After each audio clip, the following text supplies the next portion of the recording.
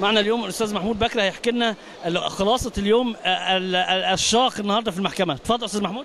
يعني منذ الصباح الباكر تدافع آه، مئات المحامين من المدعين بالحق المدني.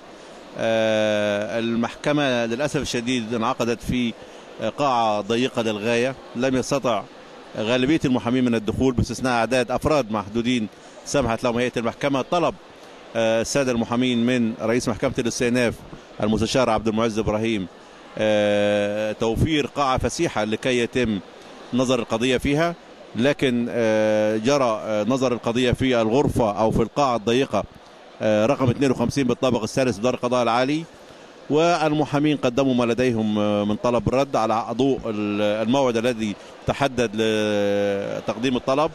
المحكمة أجلت لجلسة 22 أكتوبر القادم وسمحت بتقديم المستندات اللازمة خلال هذه الفترة حتى يتم الفصل في طلب الرد قبل الموعد الذي حدده المستشار أحمد رفعت رئيس محكمة الجنايات لنظر القضية مرة أخرى على ضوء الفصل في طلب الرد يوم 30 أكتوبر. وأتصور أنه آه، كل الأسباب والأسانيد قدمت اليوم ولا يستطيع أحد أن يتجاوز عدالة القضاء ويقر بما سيحدث.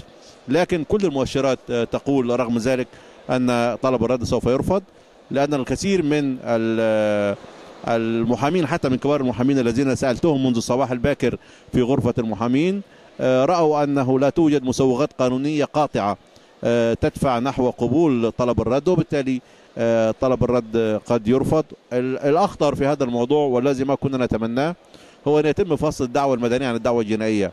وإذا حدث ذلك فسوف يتم وقف الدعوة المدنية لحين الفصل في الدعوة الجنائية.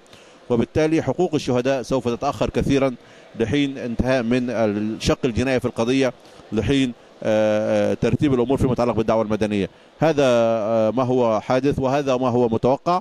وفي نهاية الأمر نحن ملتزمون بأحكام القضاء أيا كانت أحكام القضاء علينا جميعا أن نقبل بها طالما ارتضينا العدالة منهاجا لإدارة مثل هذه المحاكمات. شكرا أستاذ محمود شكرا.